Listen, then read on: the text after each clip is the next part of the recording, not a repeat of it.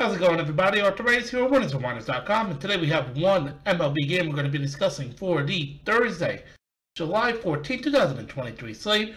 MLB's back. We're starting the second half strong, hopefully.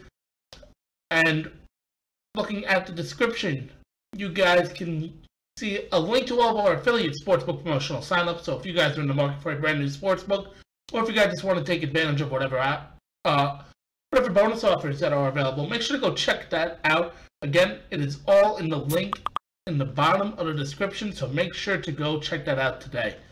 Looking back at yesterday, we had the Houston Rockets minus five in NBA Summer League action against the Golden State Warriors. The Rockets dominated. They ended up picking up a 118 to 101 win, and they easily covered the spread. That now makes us 94 and 83 in our previous 177 video picks. We are back double digits over 500 and let's continue to keep that going. Uh, right now, you can get all my uh, packages on winnersandwhiners.com for 60% off if you use the promo code GA439T60 at checkout. That is all one word, no spaces. Make sure to go check that out today. In addition to videos like this, you guys will also get my picks throughout the day, some written picks. You can check out what all the stuff I am interested in throughout the day. So now let's get into today's pick. As you if you guys have not read the title, it is the Washington Nationals taking on the St. Louis Cardinals, the first game of a three-game set.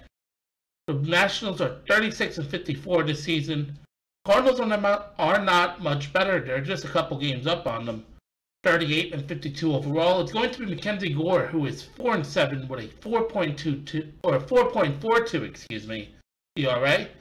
And it's going to be Miles Mikolas on the mound for the Cardinals. He's 5 and 5 with a 4.23 ERA. Now, could be a little risky here, but I'm going to go with the St. Louis Cardinals minus 1.5 at home to cover the spread here.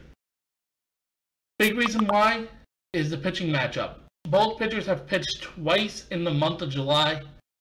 Uh, Mackenzie Gore is 0-1 with a 389 opposing batting average, a 15.75 ERA in those two starts. So he's giving up almost two runs an inning. Teams are hitting almost 400 against him in his last two starts. So he definitely needed this All-Star break. I just don't see him coming out and looking sharp against this St. Louis lineup. Miles Mikolas, though, he did extremely well in his last two starts.